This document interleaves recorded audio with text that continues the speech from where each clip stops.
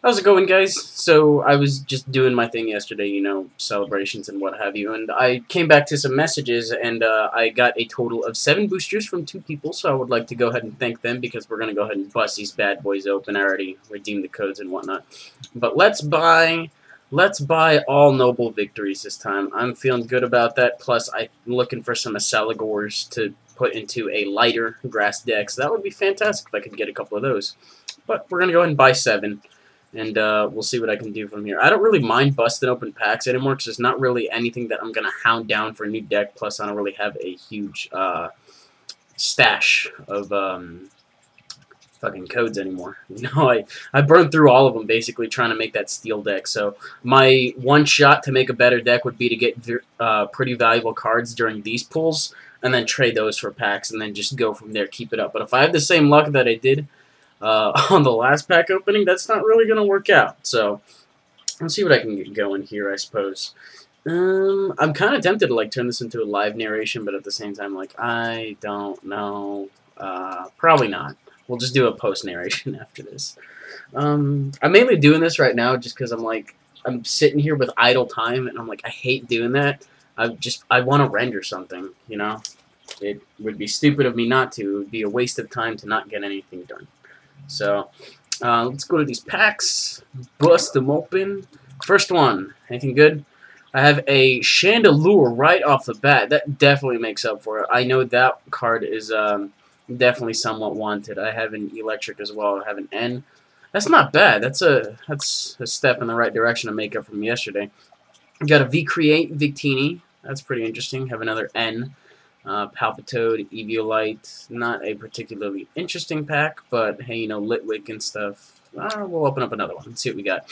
Fucking Kyurem! What the fuck's up? Holy shit, these packs are so good. Oh, Kyurem and just, ah! Uh, awesome. Okay, open up this next pack. Uh, Cofagrigus, I'm just jumping right to the rares at this point. I'm like, um, okay, that's not terrible, I suppose. I keep getting Emolgas and Tynamo, so like, what the fuck? Okay, open up another one. What do I have? I have a Zebstrika, not even a good one either. Uh, Super Rod, Archen, I'm getting plenty of those. I could definitely look into running one of those decks. Have a little Axew here as well. I have two more packs, so maybe my next one will be an Archeops deck. We'll see. Um, was this? I have a Seismitoad. Does 30 damage times the number of your Pokemon that have the round attack. Lame. Lame, lame, lame. I have a Larvesta and uh, do the wave, which is only 10 damage as opposed to uh, Cinccino's 20. Alright, last pack. Anything good? That looks good. Oh, shit. Holy shit, dicks. I got a Gigalith and a Terrakion. That is awesome. That's the that's the better of the two Terrakions, too. Because you can do 90 damage and you can still do it next turn. As opposed to doing 100 and then having to wait. Plus, Retaliate's really nice.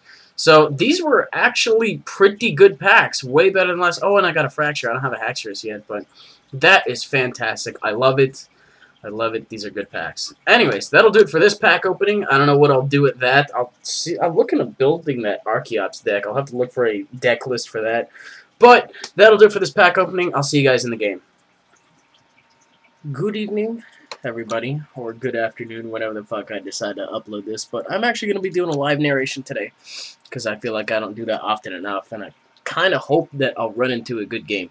As you can see, I got five decks here. I'm going to go over the deck profile to this last one. It is nowhere near finished, but I'm going to play with a uh, better deck, one that is definitely more solid, and hope that it does good. I've had the advantage all night for whatever reason, except in the... I feel like I played this guy earlier. I'm really thinking I played this guy earlier. Did I? I think I did. Hmm. I really do think I played this guy. But anyway, I'm mulligan, and that's kind of shit. I'm hoping I kind of get a Cobalion to make up for it. None of that? Wow, fuck you too. Okay. Um, hmm. Ideas, I have them. One, anyway. I don't know what I'm going to do about it, but... Let's see what happens. He picks tails, I go first. Yeah, fuck you. Oh my god, I top deck the fucking Cobalion. This is awesome. This is just, oh my god, so many good things are going to happen right now. First off, big old fuck you to that Tyrogue. Uh, do I have my Cleffa? Uh, hell yeah, I do. So here's what I'm going to do. I'm going to get that Klink out of the lead spot with my switch. And then I'm going to bring in the Cleffa. And then hopefully I don't wake up because Tyrogue is a fucking baby killer. But I am going to gain a new hand. And then hopefully come into some good things. I have one more energy. Let's go. One more. One more. Oh, fuck. Okay, and I wake up. Double. Fuck. Oh, oh. God damn it. Okay. What I can probably do here, though, is I can use Steel Coat with Skarmory. I can put down that Scyther and that Pawniard. Uh, I could probably Junk Arm out one of those guys. Okay, let's see what kind of deck he has. I see Zubat, and then I see, Co not Cobalt, Terrakion. I would love those Terrakions, the full art ones. But I have the regular ones. They do the same thing, they just don't have the little fancy graphic. He kind of looks like a mouse. Is that just me? But I think he looks like a mouse. Okay, he's definitely going to kill off this Cleffa with Tyrogue, which is stupid. I am running Tyrogue in that other deck. Only one, because I only have one. But they're kind of cool in that they do 30 damage that isn't affected by weaknesses or resistances. And, yeah. Um. Oh! Oh! Okay, here's what I can do, actually. Um, I'm going to go ahead and put down Scyther and Pawniard, and Skarmory and hope I come into a fucking energy somewhere along the way. That would be fantastic. No energies. Well, rescue it. I'll take it, I guess. Um, and my turn, hopefully he doesn't wake up. Oh, wait, no, he was already awake. I, I can't kill him, though, because he doesn't have any energy attached to him. Uh, I might as well just kill him off with Iron Breaker next turn. I want to kill off that fucking Golbat before it evolves all the way. And I also need to get rid of this Oddish too. So priorities are probably going to be... Uh, oh my god, this... Ugh. I know Crobat is just really nasty, and it has zero tree cost. But I figure out what I'm gonna do here. So what I will probably do is I'll put a rescue energy down on Cobalion, just to have enough to Iron Breaker, and he wakes up. Wakes up like a motherfucker. And put that rescue energy down. Professor Oak out for a new hand his hand sucks. Massive bowls of dicks. Finally, that steel energy. Steel, damn steel energies I wanted. Awesome. Um, evolve that, and then I am actually going to catch her into that Oddish, because I do not want that thing around. Just fuck you to that thing. Vileplume? No. If Vileplume gets out, then I can't use any of these catchers. And that's really dumb. So, uh, Golbat, he's probably, he's sending out Golbat because he has Crobat, and to be honest, I don't give a shit because I have Switch, and then what I can do is I can just put an energy down on anything else on my bench, probably like, uh, fucking, put it down on Scarm and then switch out, and then he's just gonna do that to put in the Lost Zone. Whatever, whatever, man, I can, I can repeat this process. Um, that does 80 energy. I'm curious as to what he's gonna junk arm out. The Lost Remover? He's probably to... Yeah, that's the only thing he can junk arm out. If he really wants to do that, fine. You know, to get rid of my metal energy, I do not care. I really do not, because I can just junk arm out other things. Oh. Well, if we're going to use N to be a dick, go for it. Fine. Um, drawn to a Klang and a plus power. So, a little bit of a different hand, I guess. Um, Another Zubat. At least I got the Oddish out of the way. Okay. Um, Crobat is just nasty. I can't believe he's running those. And then, how many fighting energies does that need? Two? Okay, here comes the Cleffa. I honestly hope this guy deserves to flip heads on every single fucking Cleffa. Ah! Motherfucker. Motherfucker! Alright, now what I can do here is I'm to go ahead and do this and then, uh, now, I know he could junk arm out for that Lost Remover, so because of that, it's I'm going to put a Metal Energy down. But I'm going to come out this Klang, get my Klinklang going. Clang clang. And then I can also get my Bisharp going, too. Um, evolve... Oh, I can't evolve that guy yet. What? Why the fuck not? Um, last turn, or... Whatever. Ironbreaker kills off the Cleffa, claims me my second prize.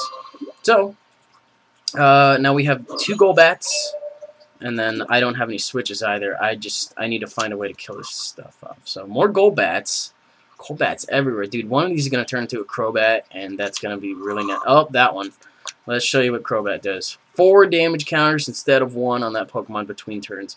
Holy fucking balls. Ugh. That thing's so, ugh, so annoying. Okay. Now, the cool thing is, though, is I can shift off the energy off of Cobalion once things start getting really nasty. Um, hmm. So that's going to do 40 damage as opposed to anything else. Um, hmm. Now, I could switch it out if I really wanted to. If I really wanted to. Um, hmm. I'm going to be taking, let me see, 80, and then at the end of the turn, and then 120 I will die at the end of... I'm trying to do my basic math here. I'll die at the end of his turn, so if anything, I should be getting the energy off of that thing, like, right now. Um, what I'm going to do, evolve it.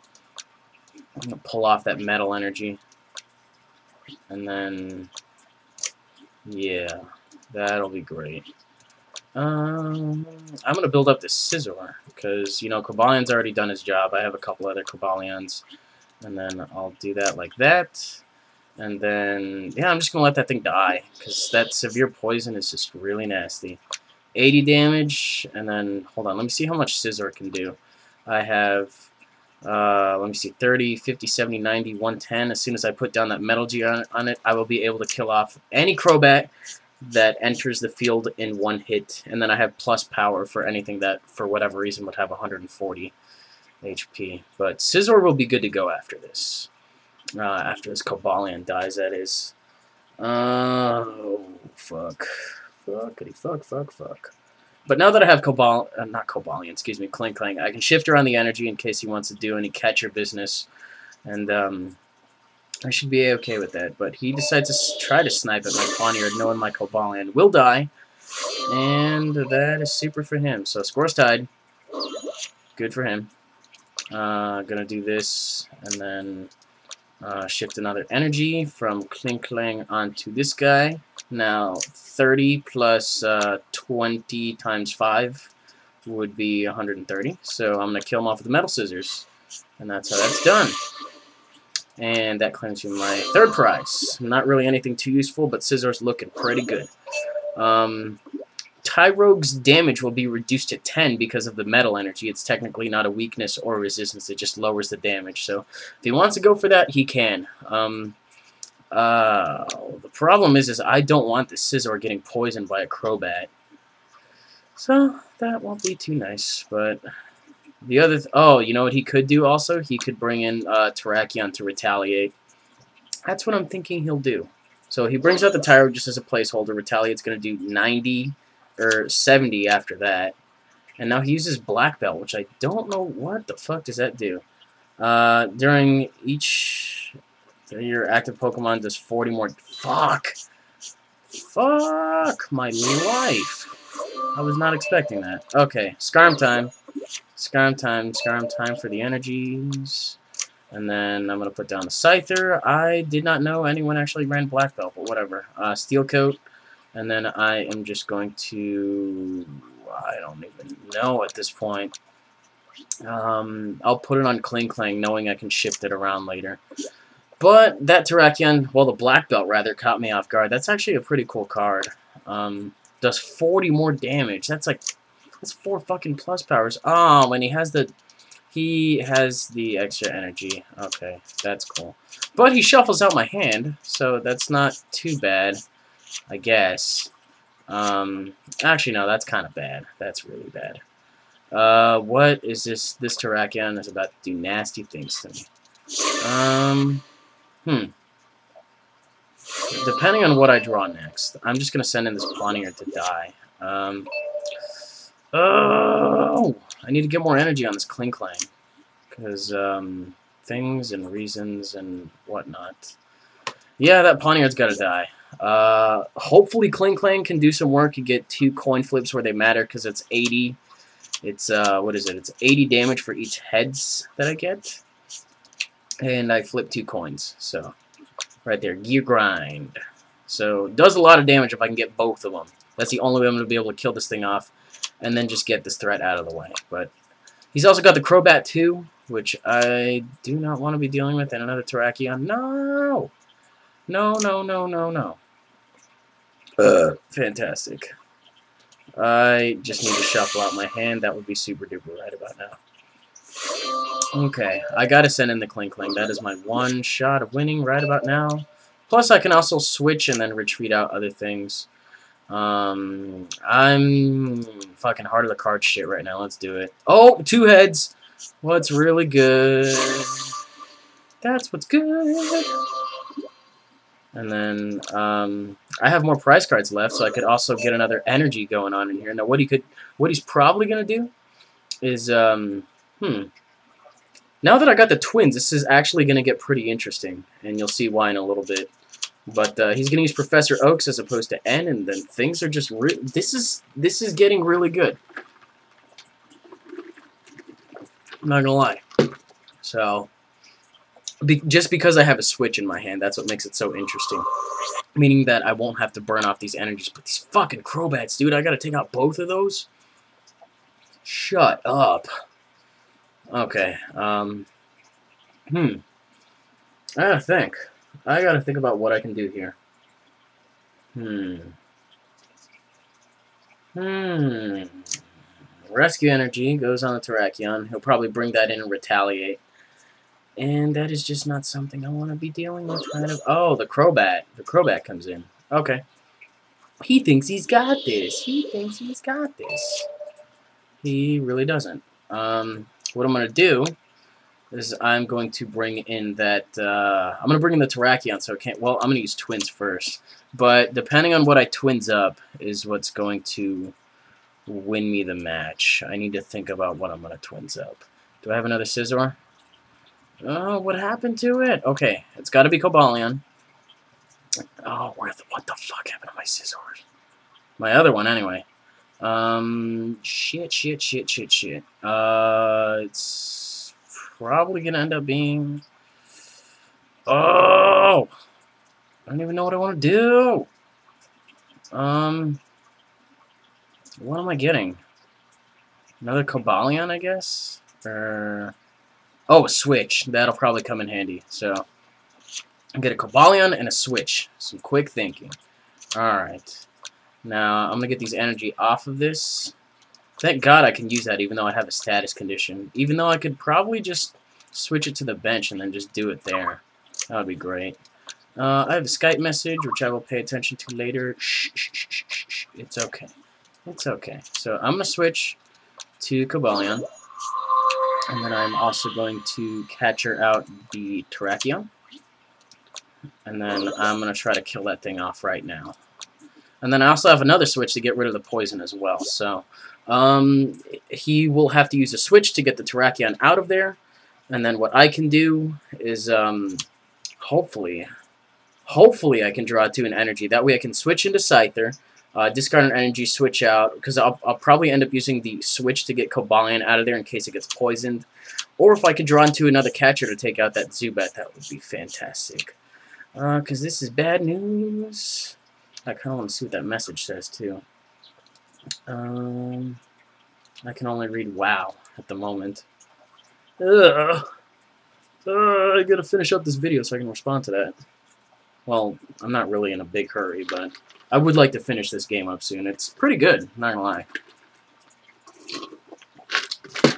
But that Terrakion's fucked. And I really need energy or a catcher.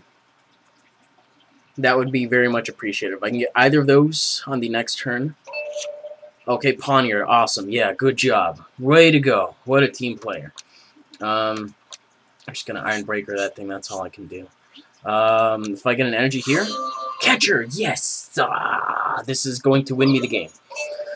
This is fantastic, because now I can just catch her in that Zubat, or that Tyrogue, kill it off. I don't think he knows what I drew either, so very close game. I am actually very fortunate to have gotten such a good live narration, for one. Um, I hope he doesn't run, because I really liked it.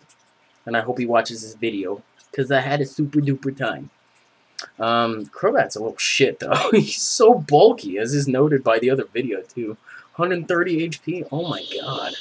Okay. Okay, uh, just to be a dick, check out what I'm going to do. I'm going to put an energy on that side there. Um, I'm going to go ahead and switch. oh, I'm such a fucking dick.